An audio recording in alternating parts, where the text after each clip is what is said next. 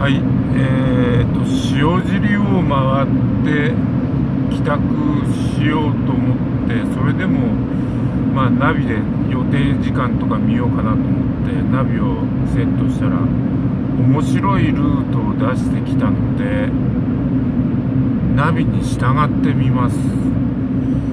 この右手の山を越えてあと 280m ここか。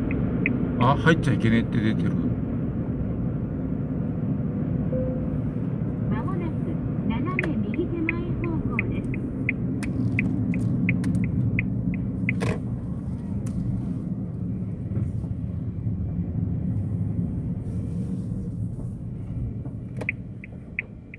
カエル館あここか。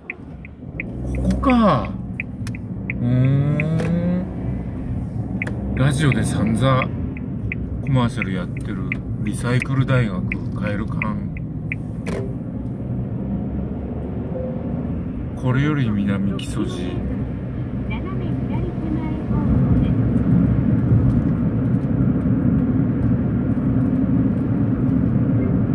なんとか峠って出てたぞ今。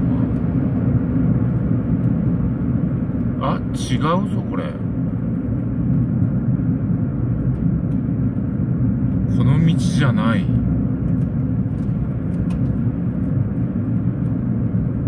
これ19号の旧道だ。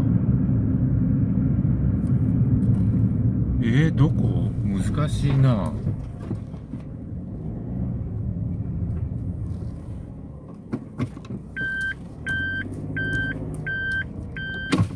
もうちょい先か。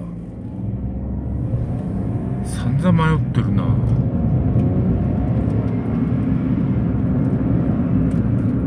道理でいい道だ。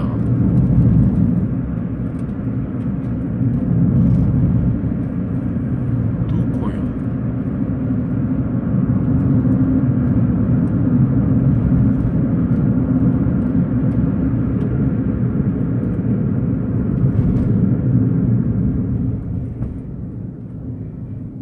ここ？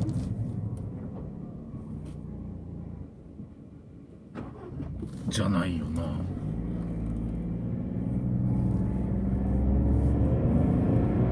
れ右行くとこなんかあるの？まもなく斜め右手前方向です。